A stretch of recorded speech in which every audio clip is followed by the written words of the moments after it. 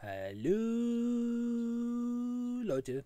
Ähm, und zwar möchte ich heute mal versuchen, nachdem ich äh, schon gescheitert bin, äh, in Österreich eingebürgert zu werden. Äh, wir möchten dir gerne Nachrichten zu unseren spannendsten Artikeln und Verlosungen senden. Nein, danke. Ähm, möchte ich es heute in der Schweiz probieren. Und schauen wir mal, ob wir den Einbürgerungstest der Schweiz bestehen würden. In, in welchen drei Kantonen werden die Landessprachen Deutsch und Französisch als Amtssprachen verwendet?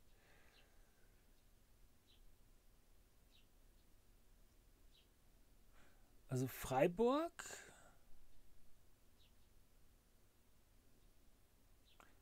ist Freiburg nicht in Deutschland?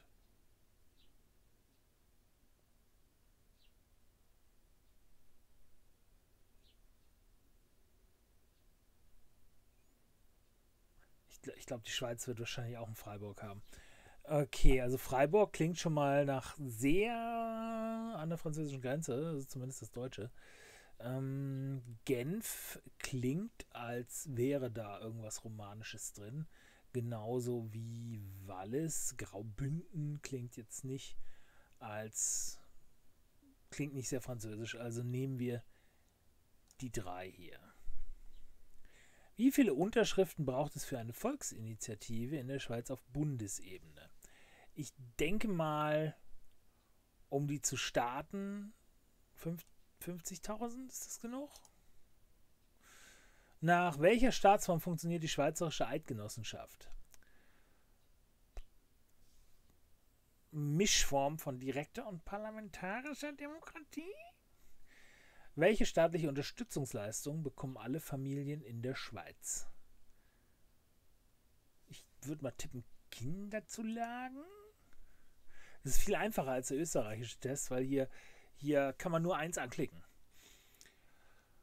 Was bedeutet in der Schweiz das Wort Röstigraben?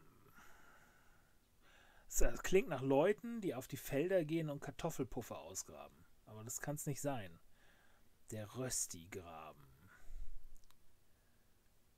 Vielleicht die kulturelle Grenze zwischen der deutsch- und französischsprachigen Schweiz, obwohl wir jetzt gerade eben schon bei der ersten Frage ähm, gelernt haben, dass äh, mehrere Kantone halt beides haben, aber äh. wer bezahlt keine Arbeitslosenversicherungsprämien? Pen Pensionierte würde Sinn ergeben. Lernende in einem Betrieb ich, ich sag mal Pensionierte. Das ist Quatsch, wenn die das bezahlen. Ähm, was macht den Schweizer Henry Dunant berühmt? Er und Gustav Moynier waren Entdecker und Forscher. Er gründete den Friedensnobelpreis. Er gründete das Rote Kreuz. Ich glaube, das Rote Kreuz war eine Schweizer Erfindung. Sagen wir mal Rotes Kreuz. Ähm, Frauen und Männer sind laut Verfassung und Gesetz in der Schweiz gleichberechtigt. Dies bedeutet, in politischen Gremien müssen gleich viele Männer wie Frauen vertreten sein. Das glaube ich nicht. Frauen und Männer haben grundsätzlich die gleichen Rechte. Das klingt nach Kochen ist Männersache. okay, vielen Dank. Das ist, ist wie, wie auf 9 Live die Antworten hier. Äh, welchen Versicherungsbeitrag wird Angestellten direkt vom Lohn abgezogen? Welcher Versicherungsbeitrag wird Angestellten direkt vom Lohn abgezogen? Der Beitrag für die Auto- und Unfallversicherung glaube ich nicht, Arbeitslosenversicherung denke ich schon, Diebstahlversicherung glaube ich nicht. Wie viele Mitglieder hat der Bundesrat?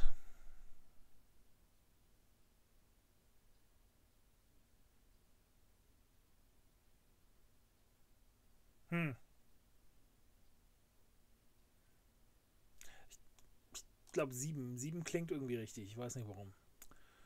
Ähm, wie hat die Schweiz in den letzten, wie hat sich wie hat sich die Schweiz in den letzten 150 Jahren wirtschaftlich entwickelt? Von einer Agrar über eine Industrie zu einer Dienstleistungsgesellschaft, von einer Industrie über eine Agrar zu einer Dienstleistungsgesellschaft, von einer Industrie über eine Dienstleistungs zu einer Agrargesellschaft. Da würde ich sagen, eins klingt am wahrscheinlichsten.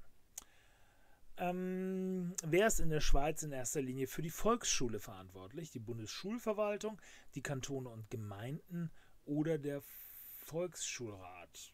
Volksschule, Volksschulrat klingt gut. Bundesschulverwaltung klingt auch gut. Die Kantone und Gemeinde könnte sein, dass, äh, dass die Gemeinden für die Volksschule, hm, für, für die Gemeinden quasi für die Grundschule verantwortlich und alles andere wird dann vielleicht von der Bundesschulverwaltung geregelt. Sagen wir mal die Kantone und Gemeinden. Welche beiden Kantone verbindet der Gotthardtunnel? Glarus und Uri, Uri und Graubünden, Tessin und Uri. Ich sag mal Tessin und Uri, weil das sind zwei Wörter, die ich schon mal gehört habe. In welcher Stadt findet man diese Wahrzeichen? Die Kappelbrücke steht in Zürich. Äh, über die Kappelbrücke über die Kappelbrücke läuft man in Luzern. Die Kappelbrücke findet sich in Bern. Das reimt sich sogar. Sehr schön. Also äh, so als kleinen Hinweis kann man Berge im Hintergrund sehen und einen See. Wo ist denn, äh, wo ist denn, ist das ein See oder ist das ein Fluss? Brücke über einen See ist irgendwie Quatsch, ne? Also wird das ein Fluss sein.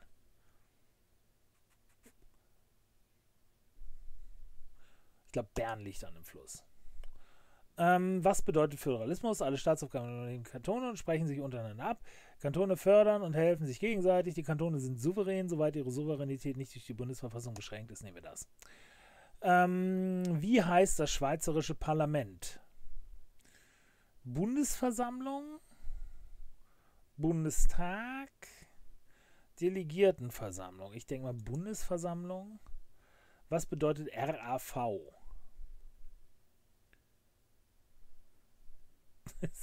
Nirgendwo ein R drin.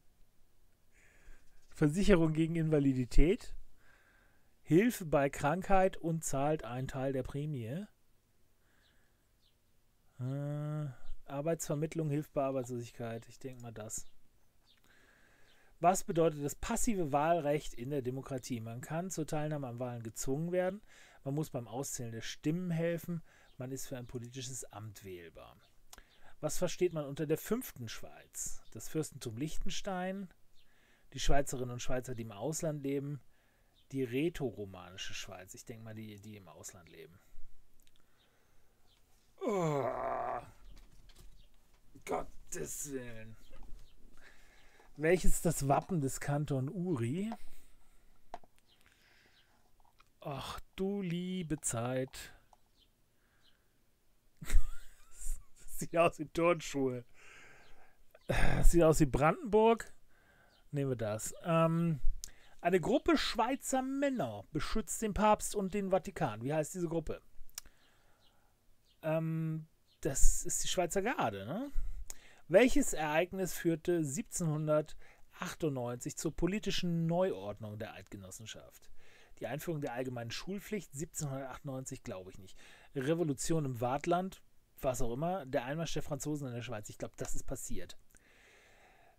Wie wird die AHV finanziert? Durch die Mehrwertsteuer, durch Arbeitgeber- und Arbeitnehmerbeiträge, durch Tabak- und Alkoholsteuer und Mehrwertsteuerprozente? Auch durch, die, durch direkte Bundessteuer. Machen wir mal das. Ähm, welches ist die wichtigste Aufgabe des Bundesrats? Er amtet als Richter bei Rechtsfragen. Er erlässt neue Gesetze. Er führt die Regierungsgeschäfte. Der Bundesrat. Ich würde sagen, er erlässt neue Gesetze. Ne? Welches internationale Amt hatte Carla de Ponte zwischen 1999 und 2007? Ah, da, da, da, Internationaler Strafgerichtshof in Den Haag, nicht der Europäische Gerichtshof für Menschenrechte, der wie wir gelernt haben, das letzte Mal in Straßburg ist. Ähm, Chefanklägerin des Strafgerichtshofs in Den Haag, Botschafterin in den USA. Chefanklägerin, sagen wir mal ja. Wofür ist der Bundesstaat zuständig? Für die Außenpolitik, für die Organisation der Volksschule, für den Erlass von Bauordnung, für die Außenpolitik welche Aussage zur Exekutive auf Bundesebene Bundesrat ist wichtig? Die Bundeskanzlerin, der Bundeskanzler wird gleichzeitig mit dem Bundesrat gewählt. Glaube ich nicht. Der Schweizerische Bundesrat ist eine Einparteienregierung. Glaube ich auch nicht. Im Bundesrat müssen mindestens drei Frauen vertreten sein, Quotenregelung.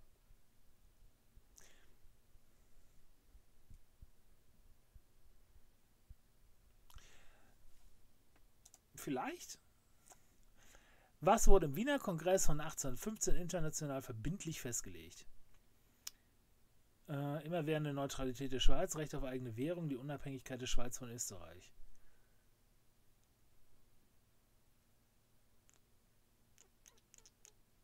Kann der Wiener Kongress einfach festlegen, dass die Schweiz neutral ist? Für immer? Hört sich, fühlt sich nicht richtig an. Das Recht auf eigene Währung äh, ich glaube, die Unabhängigkeit der Schweiz von Österreich. Wer muss obligatorische Sozialversicherungsverträge IV, EO und ALV bezahlen? Alle Erwerbstätigen ab dem 21. Lebensjahr. Alle Unselbstständige werden mir in diesen 18 Jahre alt werden. Alle Erwerbstätigen mit einem Arbeitspensum von mindestens 10 Prozent.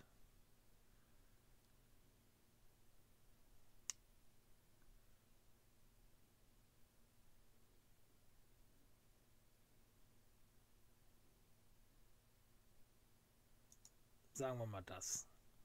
Aus welchem Jahr stammt die aktuell gültige Verfassung der Schweiz?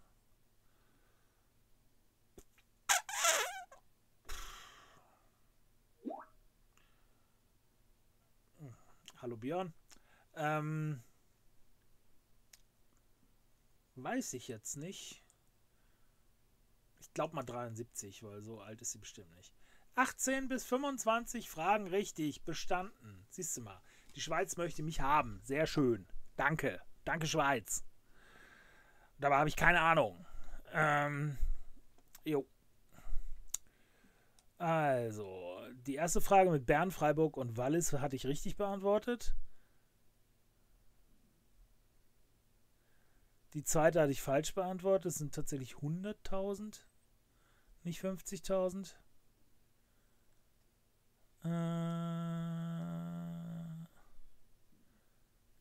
Ja. Kinderzulagen habe ich, Pensionierte habe ich, grundsätzlich gleiche Rechte habe ich, gründete das Rote Kreuz ist richtig. Arbeitslosenversicherung, sieben Mitglieder ist richtig, cool. Äh, die kulturelle Grenze zwischen der deutschen und französischsprachigen Sprache, ist der Röstigraben, ist auch richtig. Von einer Agrar über eine Industrie zu einer Dienstleistung habe ich auch richtig. Kantone und Gemeinden. ist Luzern, okay, ist Luzern, hatte ich falsch. Ähm,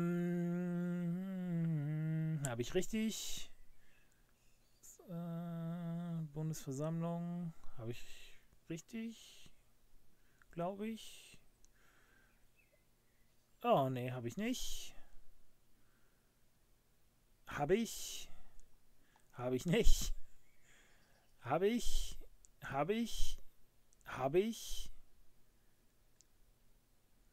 Habe ich?